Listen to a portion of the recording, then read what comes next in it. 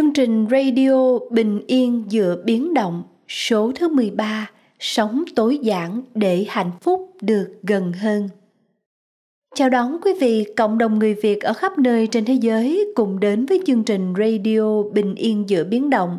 Chương trình này do thầy Minh Niệm và cộng đồng thiền tâm lý trị liệu miền tỉnh thức ở nhiều nơi cùng chung sức thực hiện. Chương trình radio này được phát sóng liên tục hàng tuần trên YouTube và podcast tại kênh chính thống và duy nhất là Minh Niệm.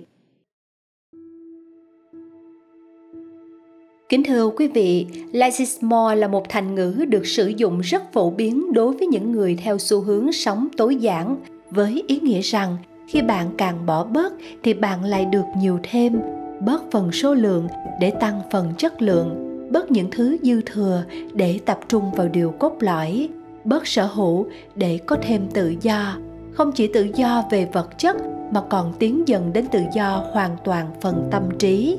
Vì vậy một đời sống giản đơn về vật chất thực ra chỉ là bước khởi đầu tương đối dễ thực hiện trên hành trình đi tìm hạnh phúc đích thực bên trong mỗi người. Sau khi giới thiệu về lối sống tối giản trong số Radio 12 vừa qua, chương trình đã nhận được nhiều phản hồi tích cực của đại chúng và nhiều người đã hưởng ứng việc cùng nhau bắt đầu nếp sống tối giản tuy nhiên, bên cạnh đó, cũng còn nhiều băn khoăn rằng liệu nếp sống ít hưởng thụ này có đi ngược lại với sự vận hành quen thuộc trước đây sau đây, xin mời quý vị đến với chương trình radio số 13 với chủ đề Sống tối giản để hạnh phúc được gần hơn để có những góc nhìn rộng hơn và đa chiều hơn về nếp sống mới này nhé. Bây giờ Kính mời quý vị lắng nghe bài pháp thoại của thầy Minh Niệm có chủ đề Sống tối giản để hạnh phúc được gần hơn.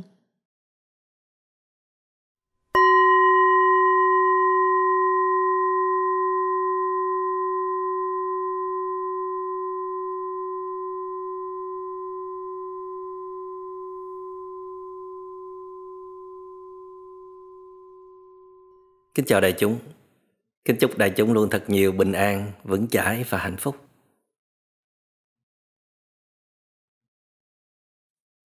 Rabindranath Tagore là đại thi sĩ Ấn Độ. Ông sinh ra cùng thời và rất thân với thiên tài vật lý học Albert Einstein. Tagore đã từng đoạt giải Nobel văn học vào năm 1913 và cũng là người châu Á đầu tiên nhận giải Nobel. Ông là một nhà dân tộc chủ nghĩa, đóng góp rất lớn cho phong trào giải phóng dân tộc ở Ấn Độ. Tagore đã từng đi khắp nơi trên thế giới để học hỏi và kết hợp giữa tinh hoa của hai truyền thống văn hóa Đông phương và Tây phương. Mà tới khi cuối đời thì à, Tagore mới rút lui về quê, về với thiên nhiên ở ẩn. Và ông từ đó mới nhận ra được cái bản chất thật của đời sống. Nói đúng hơn là ông đã tìm ra được bí quyết để sống hạnh phúc. Và ông có làm một bài thơ rất là nổi tiếng như sau. Tiêu hao năm tháng, du ngoạn khắp vùng, thấy bao núi cao, thấy bao biển rộng. Sao ta không thấy? Ngay trước cửa nhà giọt sương lấp lánh trên cành cây ngô. Tagore đã từng đi khắp nơi trên thế giới để tìm kiếm những giá trị hạnh phúc và cố gắng giúp cho mọi người sống có hạnh phúc. Và khi mà có được tất cả những điều kiện đó đó, thì Tagore thấy mình không có nhiều hạnh phúc lắm những cái nghĩ rằng khi nắm bắt được nó sẽ có hạnh phúc. Nhưng mà khi có được nó rồi thì không thấy hạnh phúc. Chẳng hiểu tại làm sao. Có thể cũng có một ít hạnh phúc, nhưng mà nó trôi qua rất nhanh, không có giữ lại được. Tâm mình nó bỗng trở nên nhàm chán, không còn ưa thích nữa. Rồi à, muốn đi tìm những thứ khác, như là tất cả những người sống trên cuộc đời này. Đó là tình trạng chung để rồi một hôm, một buổi sáng thức dậy, ở một cái tuổi xế chiều, Tagore bước ra trước cửa nhà. Nhìn thấy giọt sương lấp lánh trên cành cây ngô. lúc đó Tagore không còn mong muốn gì nữa không tìm kiếm cái gì nữa không nghĩ ngợi lo âu về bất cứ điều gì nữa thì bỗng dưng Tagore cảm thấy rùng mình cảm thấy xúc động quá khi mình nhìn thấy ánh nắng lấp lánh trên giọt sương, nó đang triểu nặng trên cành cây ngô. Nó là một cái thực tại rất là màu nhiệm, mà chưa bao giờ trong đời Tagore có một cái trải nghiệm như vậy. Nhưng mà sự thật là gì? Sự thật là thực tại lúc nào cũng là màu nhiệm, chứ không phải là ngày hôm đó, thời điểm đó nó mới màu nhiệm chỉ có là cái tâm của Tagore đó. Lúc đó nó bình yên quá đi. Nó không còn những phiền muộn, không còn tham, không còn sân. Tâm hồn đã lắng động thật sự. Đã có mặt thật sự trong giờ phút của hiện tại. Chấp nhận hoàn toàn mọi thứ trong giây phút của hiện tại. Và sống thật sâu sắc với nó. Với một cái tâm trong trẻo như vậy đó thì Tagore đã nhìn lên thực tại và thấy giọt sương sao mà đẹp quá. Có thể là nó lấp lánh hơn cả những viên kim cương nữa. Nó chạm vào tâm hồn của Tagore. Một cái điều mà Tagore mong đợi từ rất lâu rồi, đó là hạnh phúc có thật hay không? Và làm sao để có thể giữ được những cái hạnh phúc đó? Thì không ngờ rằng hạnh phúc đến từ những điều rất là đơn sơ rất gần trong đời sống. Khi mà ta đã sẵn sàng cho mình một cái tâm lành lặn, phải lành lặn trước đã, rồi nó an trú được, tức là nó chịu ở yên trong giờ phút của hiện tại. Và nó tập trung vào tất cả những gì đang có mặt trong hiện tại một cách hết lòng. Và cái tâm chúng ta nó nó không còn phiền não, không còn cáo bẩn không còn lăng xăng. Nó trong ngần vậy đó. Thì nó nhìn lên cái gì? Nó sôi rửa lên cái gì? Nó cũng đều thấy đẹp và lung linh cả. Không chỉ là giọt sương trên cành cây ngô mà nhìn ở đâu có thể Tagore cũng thấy màu nhiệm như vậy. Hạnh phúc là những điều thật gần. Khi chúng ta bưng một tách trà lên chúng ta uống nếu tâm mình nó đã sẵn sàng để hạnh phúc, tức là nó không còn tìm kiếm một cái gì nữa hết. Nó tin rằng hiện tại đủ để làm cho nó có hạnh phúc. Và nâng chén trà lên, như là mình nâng một cái thứ gì đó cực kỳ quý giá với một ý niệm như vậy đó, thì tự dưng chén trà sẽ trở nên màu nhiệm, là điều kiện của hạnh phúc. Và hạnh phúc xuất hiện ngay lập tức. Khi mình bước đi trên mặt đất cũng vậy. Mình ý thức được rằng là mình đang còn một đôi chân lành lặn, khỏe mạnh để bước đi. Bước xuống cầu thang, bước lên cầu thang, bước ra sân vườn, bước trên con đường râm mát, bước ra phố. Mà lúc nào cũng có mặt với bước chân của mình. Tôi đang bước đi và tôi ý thức về điều này. Tôi thấy mình thật là may mắn vì vẫn còn một đôi chân lành lặn để bước đi. Như là thiền sư lâm tế nói là địa thượng thần thông. Thần thông là bạn đi trên mặt đất mà bạn phát huy hết cái năng lực chú ý quan sát của mình thì nó sẽ tạo ra một cái vùng năng lượng như là một phép thần thông. Để rồi ai nhìn vào bạn cũng thấy được cái uy nghi vững chãi của bạn. Để rồi bạn bước đi tới đâu thì những cái ờ, năng lượng tiêu cực hay là bóng tối nó có thể bị đẩy lùi tới đó. Cái bước chân nó có cái uy lực như vậy. Nhưng cái chính đó là tâm của chúng ta. Tâm chúng ta nó đã đáp xuống. Nó đã có mặt toàn vẹn trong thực tại rồi. Cho nên, câu hỏi đặt ra là chúng ta có cần quá nhiều những điều kiện của hạnh phúc không?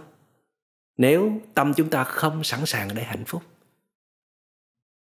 tâm không sẵn sàng để hạnh phúc, tức là tâm trôi nổi, tâm rong rủi tâm mơ màng, tâm tìm kiếm, hy vọng, chờ đợi, căng thẳng, lo âu, sợ sệt, phiền muộn. Đầy thương tổn. Nói một cách khác, cho dù chúng ta có bao nhiêu điều kiện hạnh phúc đi chăng nữa, mà trái tim chúng ta nó có vấn đề tâm hồn ta vẫn đục. Chúng ta chưa sẵn sàng để hạnh phúc thì chúng ta không thể nào có hạnh phúc được. Nhưng mà khổ nổi nhân sinh không thấy được điều này. Chúng ta không thấy được điều này. Chúng ta đi theo tâm thức của nhân sinh, của cộng đồng. Nhân sinh chạy tới đâu chúng ta chạy theo tới đó. Nhân sinh có cái gì chúng ta có cái đó. Thế giới văn minh này có cái gì thì chúng ta có cái đó và thay vì thời gian để sống, thì chúng ta dành thời gian để nắm bắt sắm thật nhiều những tách trà vào, đủ kiểu, đủ dáng, đủ màu sắc. Nhưng mà không có thời gian để uống trà, không có thời gian để thưởng thức trà, thì làm sao biết được trà ngon? Mà thậm chí là mất luôn khả năng thưởng thức trà, ngồi đó, uống đó nhưng mà không cảm nhận được gì cả.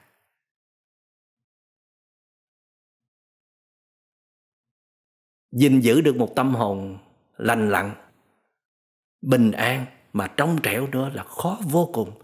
Đáng lẽ ra đó, trong cái nền giáo dục của con người, phải dạy cho con người điều này trước. Bạn phải giữ tâm hồn của bạn trước. Tâm như thế nào thì chúng ta sẽ nhìn lên thực tại như thế ấy. Thì đó mới là một nền giáo dục minh triết.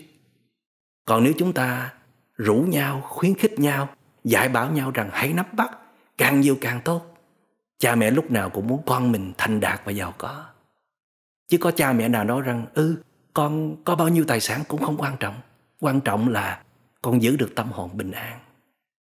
Có thể cũng có những bậc phụ huynh nói với con rằng là giàu có không quan trọng quan trọng là giữ được đạo đức con người. Thì đạo đức là nền tảng quan trọng rồi đó. Nhưng mà nếu sâu hơn một chút nữa, đó là giữ được một tâm hồn lành lặn trong trẻo. Để có thể cảm nhận hết, thấy rõ hết những giá trị mà cuộc đời này đã ban tặng hay là những gì mà chúng ta đã tích góp giữ gìn. Mà một bậc phụ huynh khuyên con mình giữ gìn đạo đức là quan trọng, là quý hiếm vô cùng. Những con người ý thức giữ gìn đạo đức trong cuộc đời này là còn rất ít mà những người có ý thức giữ gìn một tâm hồn bình an trong trẻo lại càng ít hơn nữa. Cho nên con người sống trong đời sống này tuy có rất nhiều những tiện nghi về vật chất, nhưng mà họ không có hạnh phúc. Có rất nhiều tiện nghi về tinh thần, từ sự công nhận, kính trọng, nể phục cũng không có hạnh phúc. Hạnh phúc đâu phải là một điều gì nó quá xa xôi để mà tìm kiếm không được đâu. Nó ở đây trong chính con người của chúng ta, trong tâm hồn của chúng ta.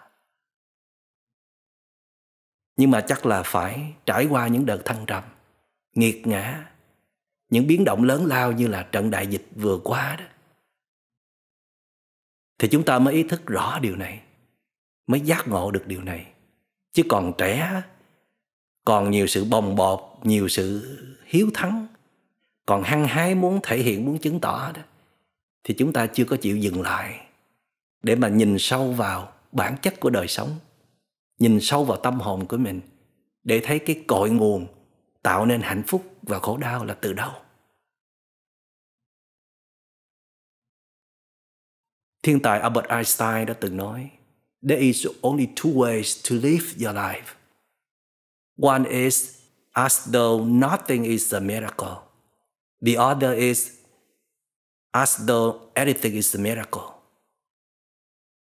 Có hai cách để chúng ta sống trong cuộc đời này thôi.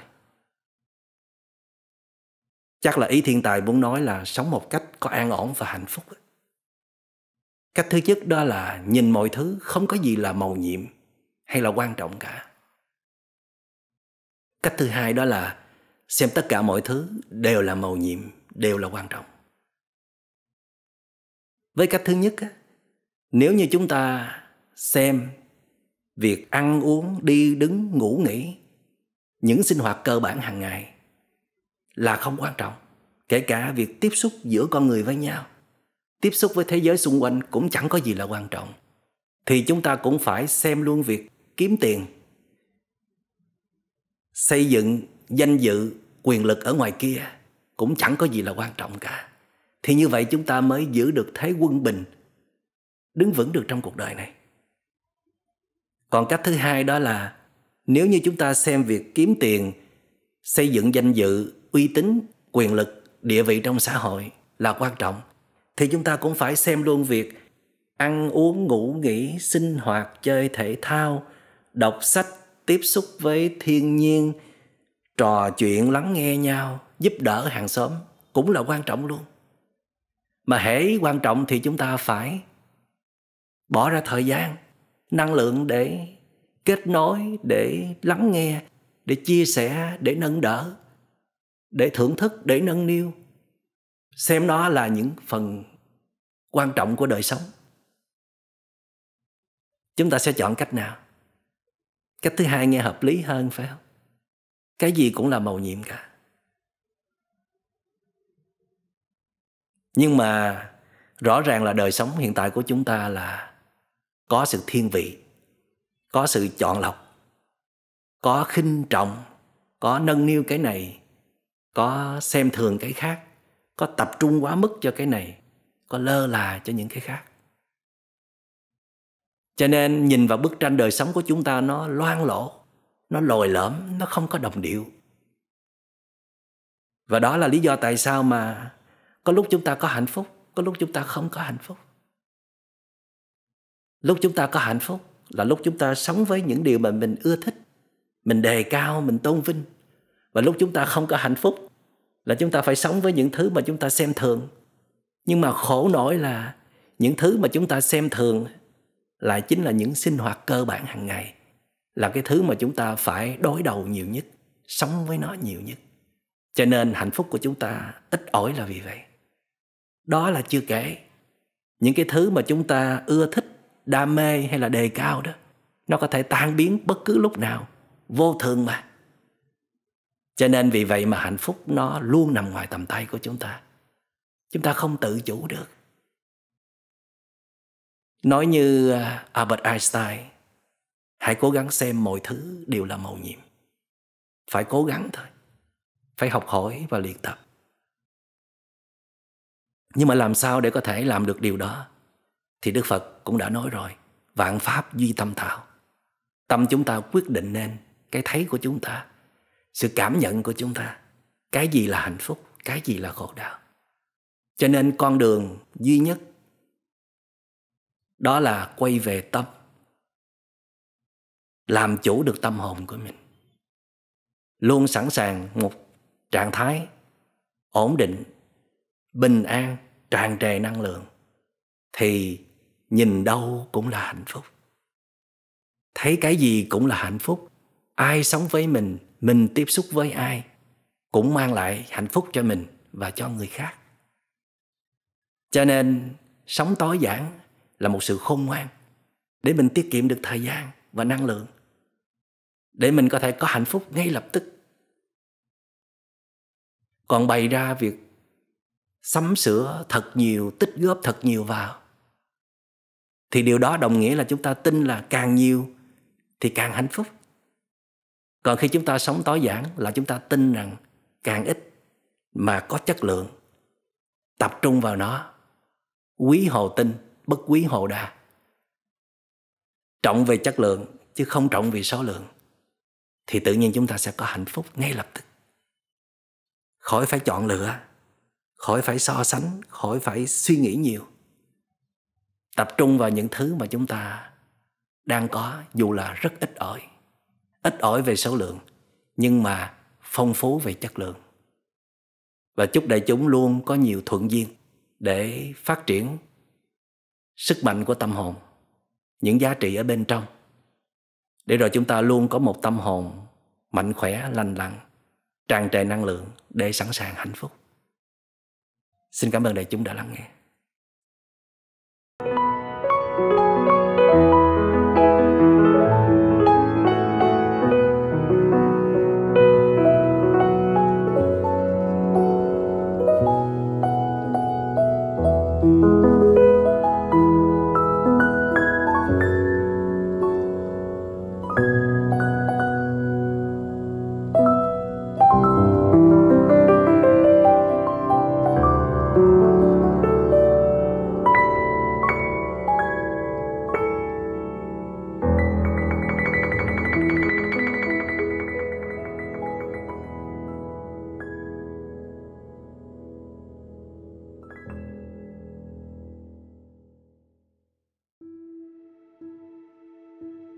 Thưa quý vị, trong thời gian giãn cách xã hội, khi mọi người đều buộc phải ở trong nhà, phần đông chúng ta chọn chiếc điện thoại thông minh làm phương tiện giải trí và kết nối với thế giới bên ngoài. Nhưng bên cạnh đó, cũng có không ít người nhận ra rằng những cuộc điện thoại đó không thể thay thế được những cuộc gặp mặt giữa người với người chiếc màn hình nhỏ xíu đó không thể cho ta được cái sao lòng từ khung cửa sổ quán cà phê buổi sáng những món ăn được đặt qua ứng dụng giao hàng tận nơi, không thể bằng món thịt do mẹ kho đi kho lại nhiều lần. Và chợt nhận ra rằng, giữa cuộc sống hối hả, tưởng như đầy đủ tiện nghi, ta đã đánh mất những thứ hạnh phúc tưởng như nhỏ nhoi nhưng vô cùng quý giá. Tiếp theo, xin mời quý vị cùng đến với bài viết những điều nhỏ nhoi mang tên hạnh phúc của tác giả vân anh được đăng trên tạp chí đẹp sẽ được gửi đến quý vị qua giọng đọc của mc phan anh.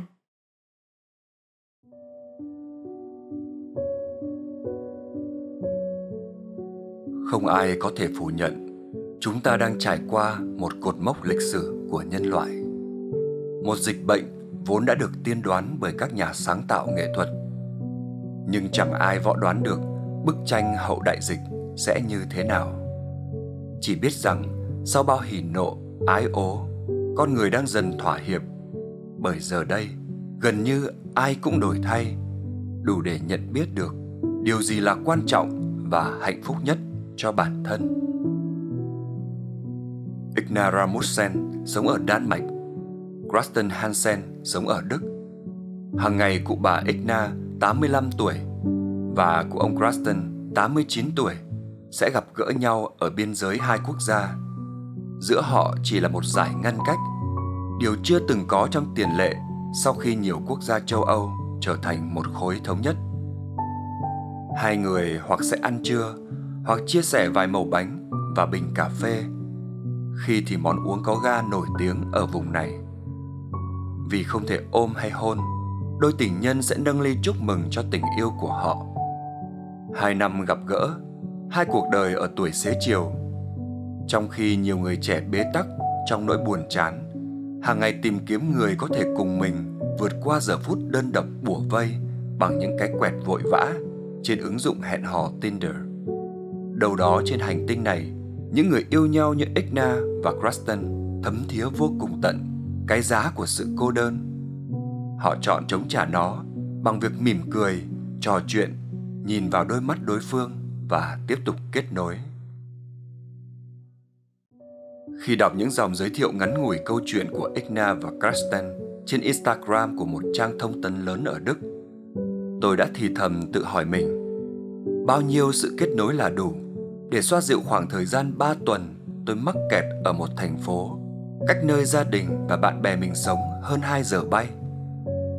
Nhưng tôi không phải là người duy nhất trong 7 tỷ người trên trái đất rơi vào tình huống lạ lùng kiểu này. Vừa bước ra khỏi một mối quan hệ, mắc kẹt trên căn hộ tầng 8 một tòa chung cư giữa lòng đô thị không phải nhà mình. Kết nối của tôi với thế giới bên ngoài phụ thuộc vào đường truyền internet chập chờn. Là một người hướng nội, những ngày đầu trong cuộc bế quan tỏa cảng diện rộng diễn ra không một chút khó khăn với tôi. Tôi đã từng nghĩ mình sẽ vượt qua nhẹ nhàng như một con cá quẫy đạp trong vùng biển tự nhiên của nó. Laptop, điện thoại, vài cuốn sách, mấy chai rượu vang ướp lạnh. Loạt tin nhắn xuất hiện từ lúc mở mắt tỉnh dậy cho đến khi nấn ná lên giường đi ngủ. Những kết nối hiện hữu bằng hình ảnh bé xíu trên cửa sổ chat, công việc, bạn bè, gia đình. Mọi hỉ nộ ái ố đời thường giờ nằm cả trong một chiếc màn hình. Đó hẳn đã từng là giấc mơ với nhiều người thuộc thế hệ y như tôi, đủ để cảm thấy mình là một phần của cộng đồng lớn hơn, đồng nghĩa với phần quan trọng trong tháp nhu cầu Maslow đã được đáp ứng. Vừa chẳng tốn quá nhiều công sức và thời gian cho những cuộc di chuyển hay lao mình vào cơn bão xe cộ với đủ mọi thể loại ô nhiễm trên đường. Nhưng rồi, cơn thèm thuồng ập đến, bất ngờ và chịu nặng. Tôi thèm nghe cô bạn thân khuấy cốc sữa chua cà phê ở góc quán cà phê đinh trong khi kể câu chuyện không đầu không cuối. Thèm nghe âm thanh hò reo vào lúc 2 giờ sáng của bố con nhà bên cổ vũ bóng đá ngoại hạng. thèm nghe tiếng leng keng bát đĩa hòa vào bản tin thời sự bên mâm cơm tối cùng gia đình. Thậm chí, thèm cả tiếng còi xe chí chóe từng khiến tôi phát bực mỗi giờ tan tầm. Hóa ra, con cá là tôi, đã chọn sai vùng biển của mình. Hóa ra, chẳng tin nhắn dài rằng giặc nào có thể thay thế âm thanh ấm áp từ giọng nói. Chẳng bữa ăn hàng ngày nào được chuyển đến tận nhà có thể ngon bằng món thịt kho đi kho lại vài lần của mẹ. Và đôi khi không một bộ phim hay một cuốn sách nào có thể thay thế những tương tác thường nhật từ ôn hòa đến hỗn loạn giữa người với người.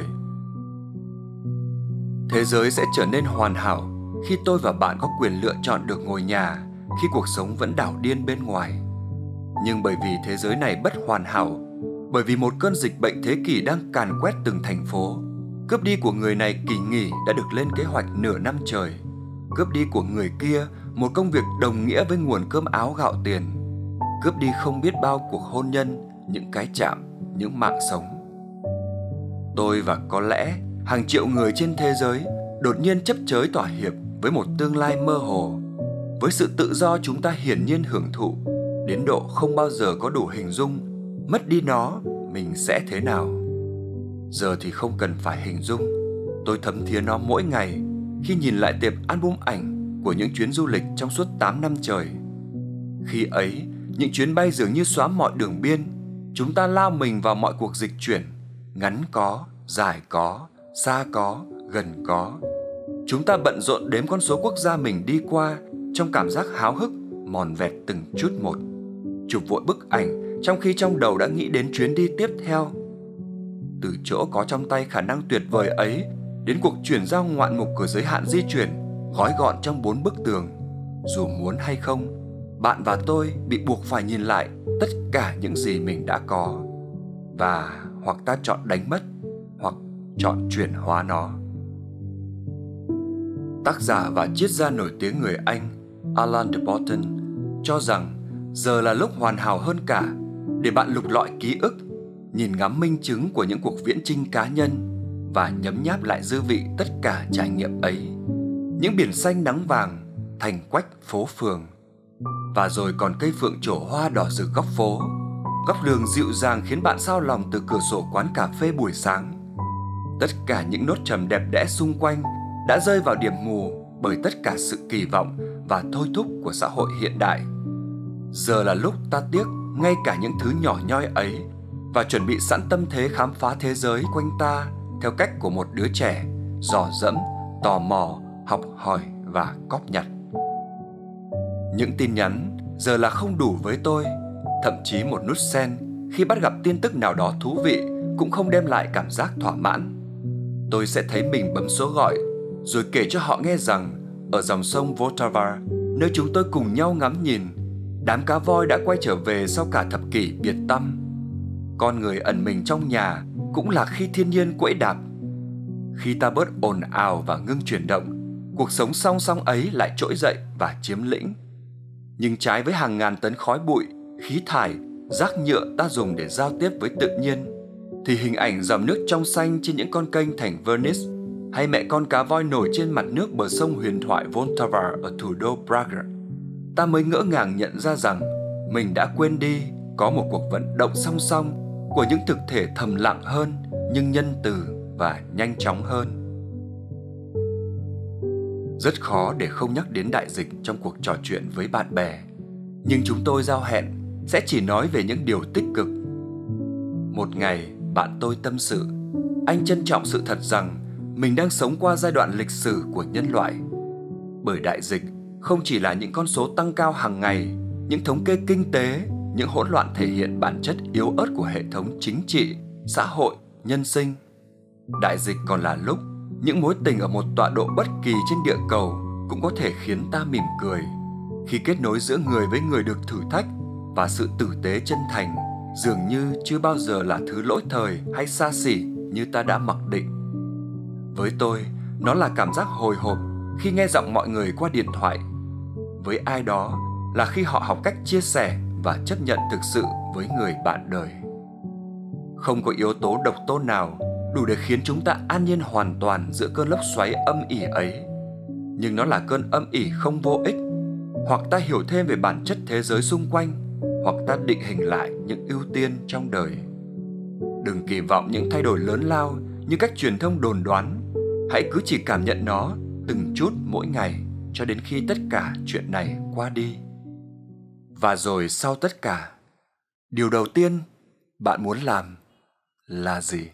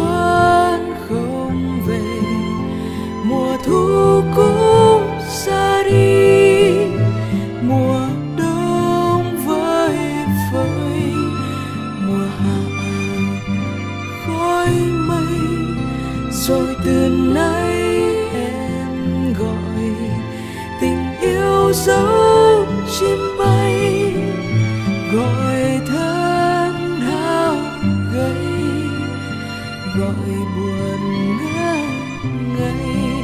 Ôi, tóc em dài, đêm thần thoại, vùng tương lai chờ xa xôi. Tuổi xuân ơi, sao dòng mơ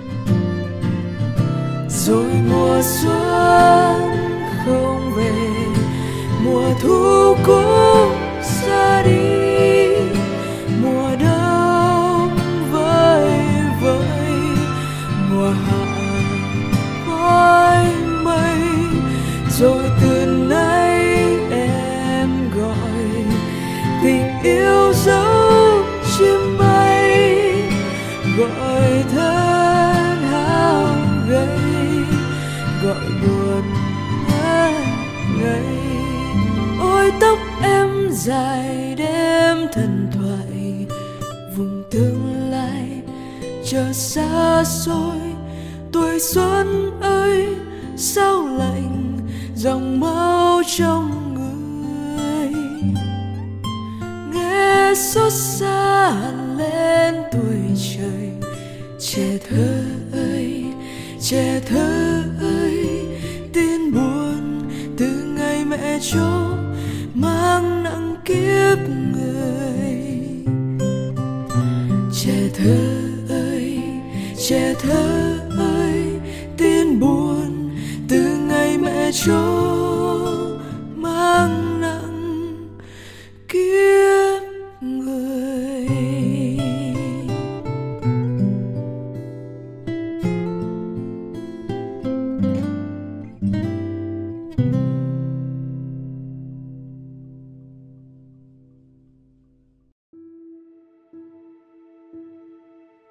Quý vị, sau số radio trước, chương trình đã nhận được nhiều lời bình luận hoài nghi rằng liệu lối sống tối giản có đi ngược lại với chủ nghĩa tiêu dùng vốn là đòn bẩy kích thích nền kinh tế phát triển không? Sau đây, xin mời quý vị cùng đến với bài viết Sống tối giản cho đời thanh thản của tác giả Kim Chi. Hy vọng có thể cung cấp cho quý vị một cái nhìn sâu hơn về tinh thần cốt lõi của nếp sống tối giản. Bài viết này được gửi đến quý vị qua giọng đọc của diễn viên Hồng Ánh.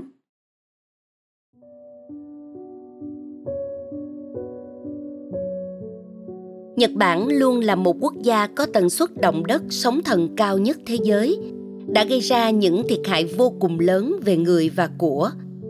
Sau những mất mát đó, người ta dần nhận ra việc sở hữu quá nhiều vật chất không phải là thứ đem lại hạnh phúc và cuộc đời thì quá ngắn ngủi để ta có thể tiêu hết số tiền mình kiếm được một cách mãn nguyện nhất.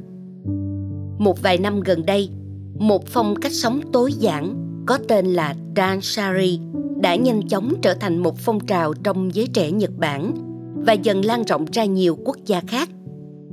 Một căn phòng của người theo đuổi lối sống Danshari điển hình hầu như trống trơn, chỉ có một chiếc giường, một chiếc tủ với vài ba bộ quần áo, góc bếp với những vật dụng hết sức đơn giản.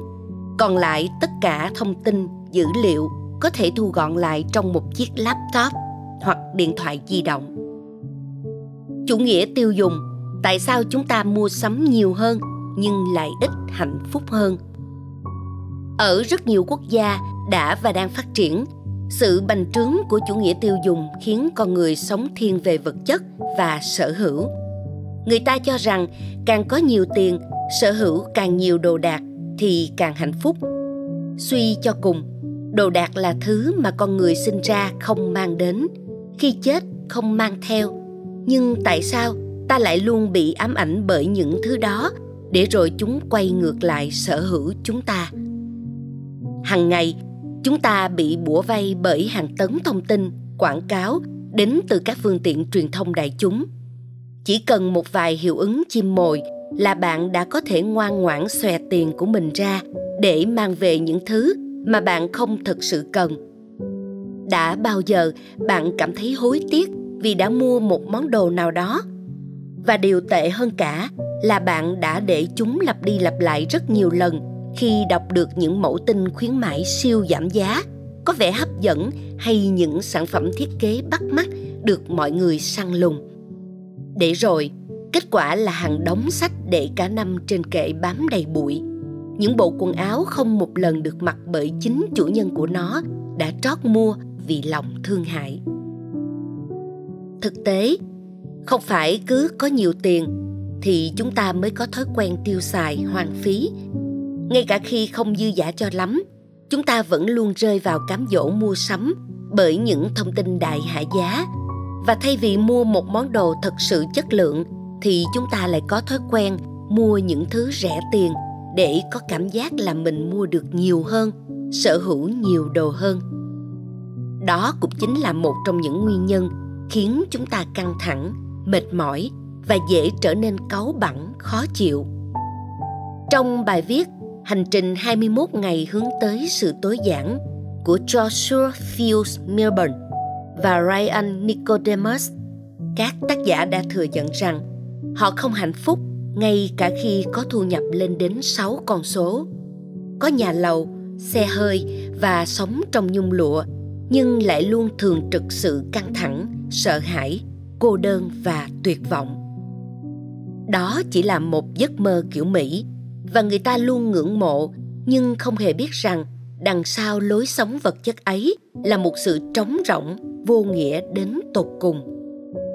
Và sau cùng thì họ nhận ra rằng chủ nghĩa tối giản mới là con đường duy nhất khiến họ trở nên hạnh phúc, chứ không phải bằng việc sở hữu nhiều của cải vật chất. Lối sống tối giản có phù hợp với xã hội hiện đại trong cuốn Sống tối giản của người Nhật của Fumio, tác giả đã đưa ra những phương pháp chi tiết giúp những ai muốn theo đuổi lối sống tối giản từng bước giải phóng mình khỏi sự ám ảnh bởi vật chất và cảm thấy hạnh phúc hơn Tác giả từng là một người rất thích tích trữ đồ đạc, sưu tập đĩa CD và luôn lấp đầy khoảng trống trong căn phòng của mình bằng một thứ gì đó. Nhưng chính việc đó đã khiến anh không cảm thấy thoải mái và hạnh phúc. Sẽ ra sao nếu như một bản nhạc không có những khoảng lặng? Cũng vậy, việc bài trí và sắp xếp đồ đạc trong phòng cũng luôn cần có những khoảng trống để đem lại sự thư thái cho tâm hồn không chỉ ở nhật trên thế giới có rất nhiều người nổi tiếng hoặc tỷ phú là những người theo đuổi lối sống này steve jobs là một người theo chủ nghĩa tối giản và tinh thần đó được thể hiện trong tất cả các thiết kế của apple. Tối giản, nhưng vô cùng tinh tế, chỉ tập trung vào những gì người dùng muốn nhất, loại bỏ tất cả các thao tác không cần thiết để có được kết quả nhanh nhất. Danh họa leonardo da vinci từng có câu nói rất nổi tiếng. Đơn giản chính là đỉnh cao của sự tinh tế đi đến tận cùng của sự đơn giản để chạm đến sự tinh tế chính là tối giản nếu câu nói này đúng thì steve jobs đã đạt được điều đó một cách hoàn hảo ông cũng thường xuyên xuất hiện trong các cuộc họp hoặc trên truyền hình chỉ với chiếc áo đen và quần jeans.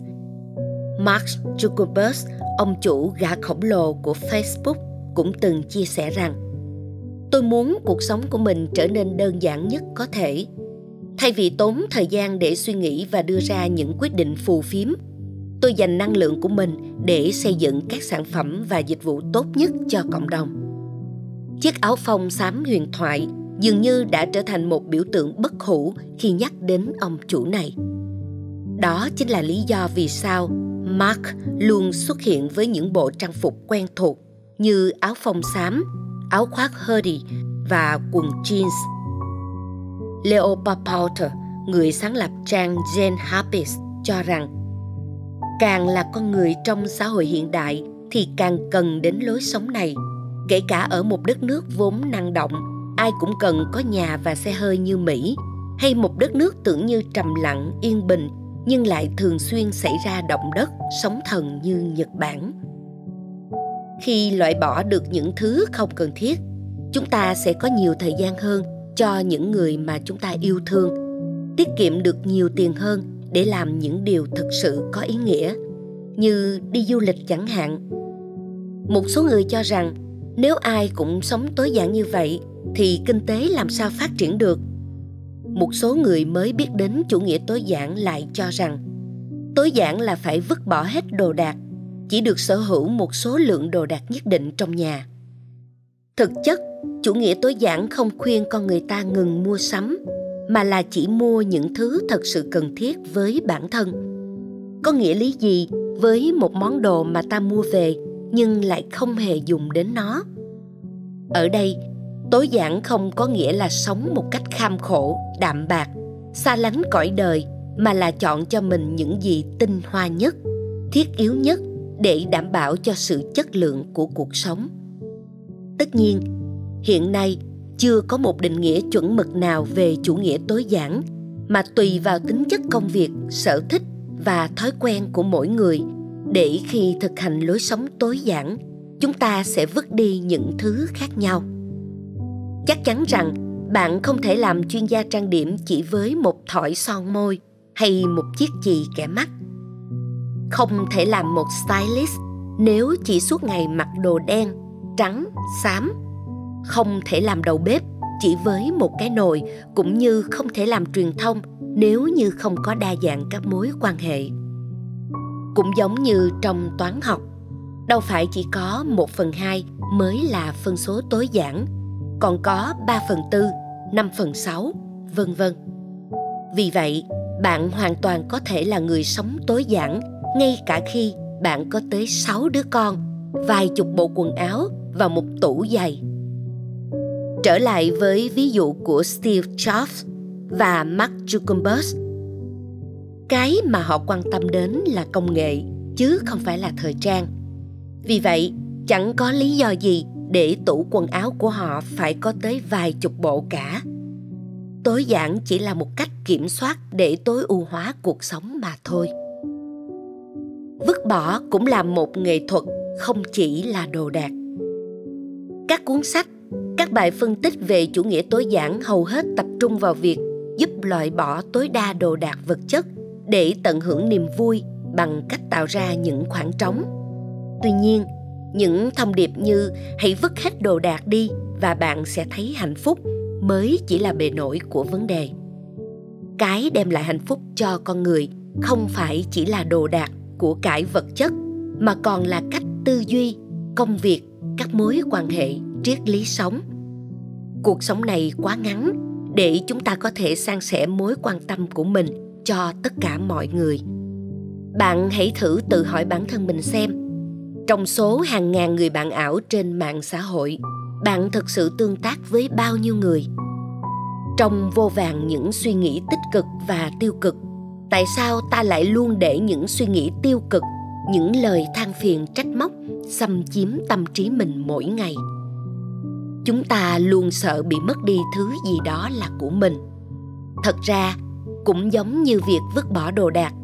Thứ đầu tiên bạn cần vứt bỏ, đó chính là ý nghĩ tiếc nuối và sự biện minh rằng, biết đâu, một ngày nào đó mình sẽ dùng đến nó. Trong các mối quan hệ cũng vậy có phải chúng ta luôn cố gắng giữ liên lạc với một số người nào đó chỉ bởi chúng ta nghĩ rằng một ngày nào đó mình sẽ cần đến họ? Vứt bỏ những thứ trùng trình sẽ là cách nhanh nhất giúp chúng ta tập trung vào chuyên môn của mình và không bị sao lãng bởi những thứ khác. Đó chính là một phần trên con đường dẫn tới thành công.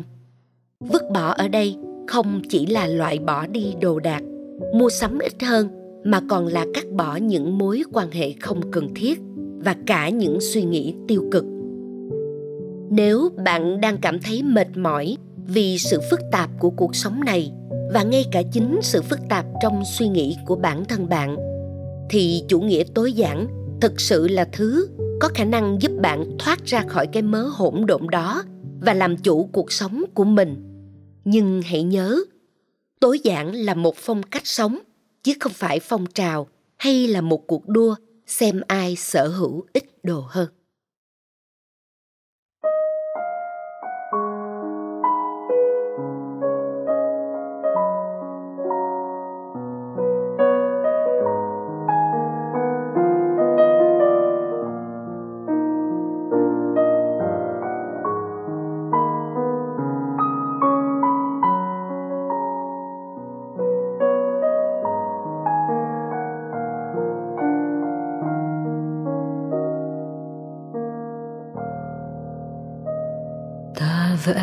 Trời này chẳng ơi.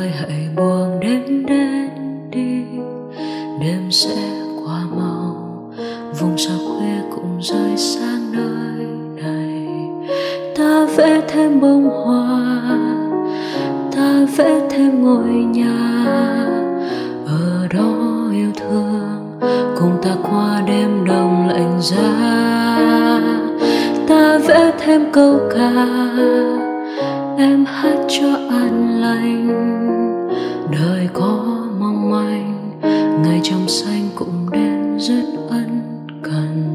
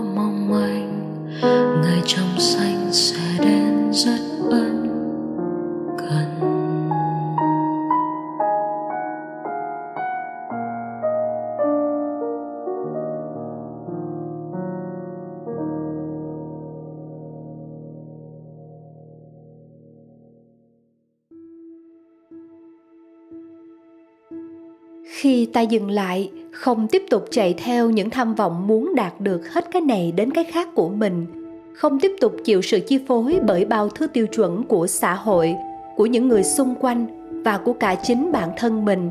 Ta thở phào nhẹ nhõm như trút xuống ngàn cân và lần đầu tiên trong đời chạm vào cảnh giới của sự tự do đích thực. Trong phút giây thần thánh ấy, ta thấy mình là một con người khác, trầm mặc nhưng thênh thang bình dị nhưng lung linh đến vô cùng. Ta như vừa nhặt lại được linh hồn mình để cài cắm vào thân hình bé nhỏ xác xơ này đã trồi lên hợp xuống sau bao đợt thăng trầm biến động của dòng đời. Bây giờ, mời quý vị cùng lắng nghe và chiêm nghiệm bài viết vẻ đẹp của sự dừng lại, trích từ cuốn sách không có gì phải sợ của tác giả minh niệm qua giọng đọc của nhạc sĩ hồ tiến đạt.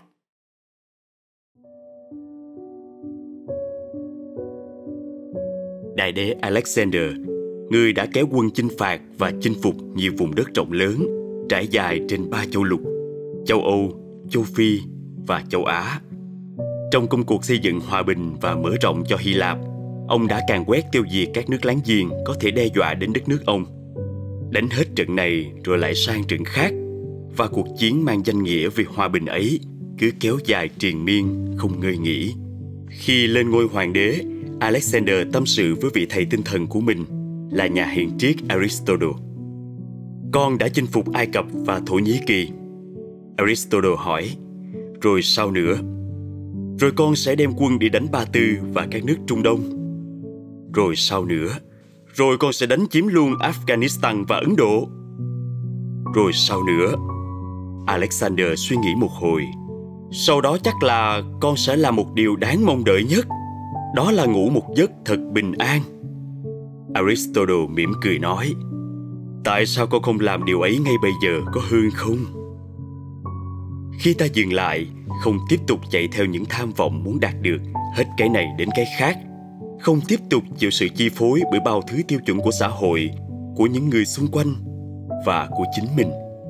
Ta thở phào nhẹ nhõm như trút xuống gánh nặng ngàn cân và lần đầu tiên trong đời chạm vào cảnh giới của sự tự do đích thực.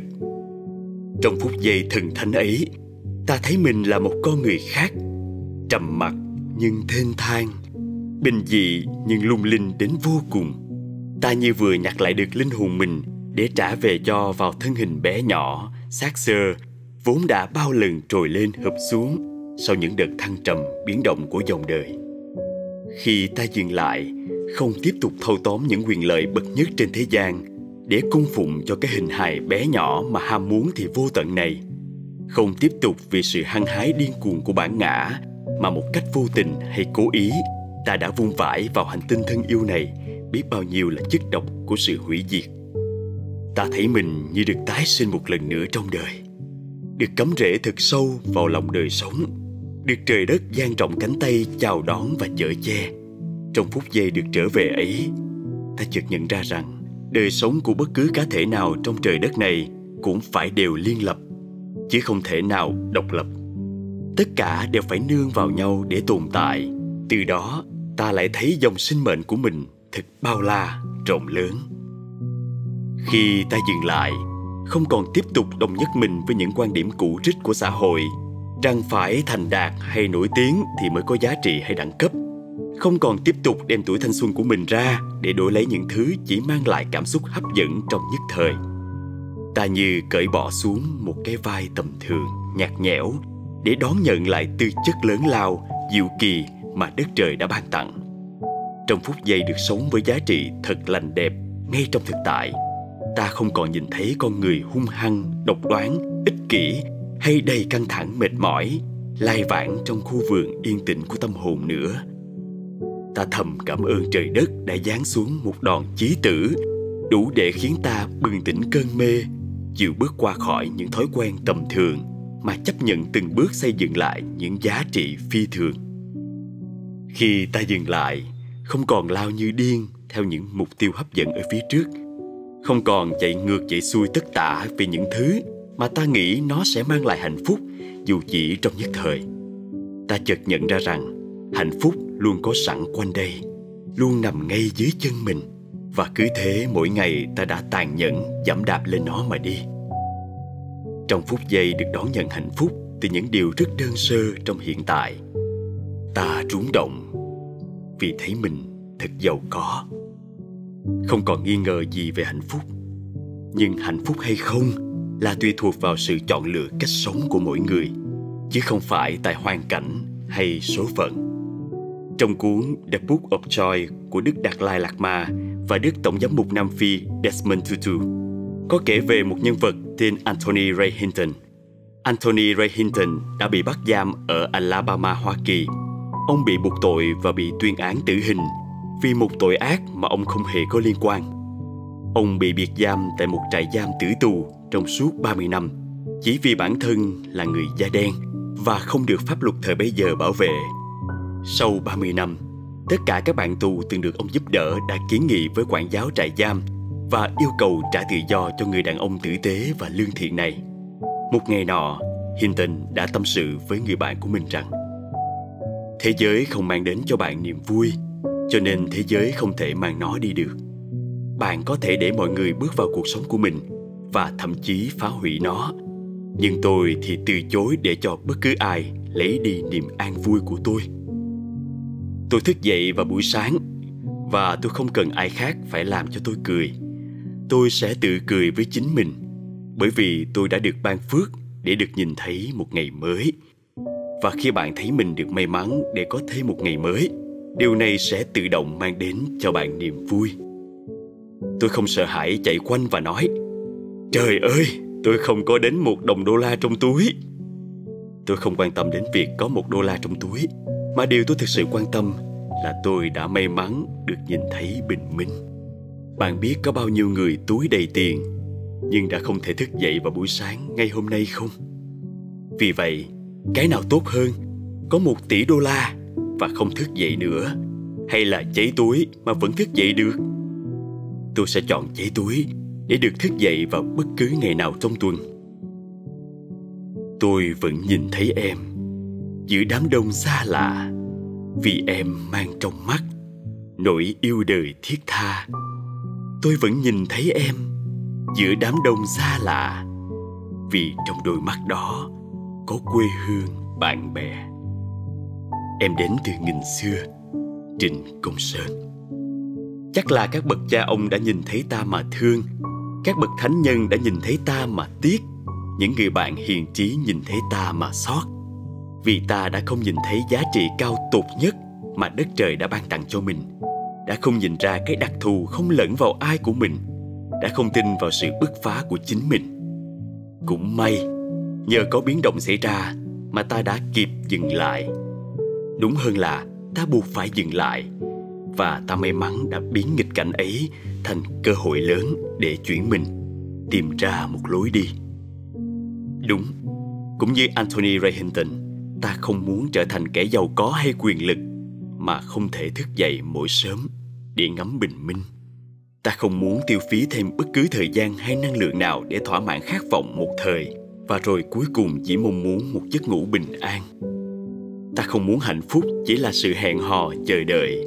Ta thà đi ngược lại dòng người ngoài kia, biết là sẽ gian truân trắc trở, nhưng ta có thể chạm vào hạnh phúc bất cứ lúc nào từ đời sống tối giản, quý hồ tinh, bất quý hồ đa. Chỉ chú trọng chất lượng chứ không chú trọng số lượng, ta sẽ có thật nhiều cơ hội để ý thức và trân quý những gì mình đang có. Rất gần cũng có nghĩa là ta sẽ giảm đi cơ hội tìm kiếm hạnh phúc ở mãi tận xa xăm. Tôi vẫn nhìn thấy em giữa đám đông xa lạ vì em mang trong mắt nỗi yêu đời thiết tha. Tôi vẫn nhìn thấy em giữa đám đông xa lạ, vì trong đôi mắt đó có quê hương bạn bè. Em đã đến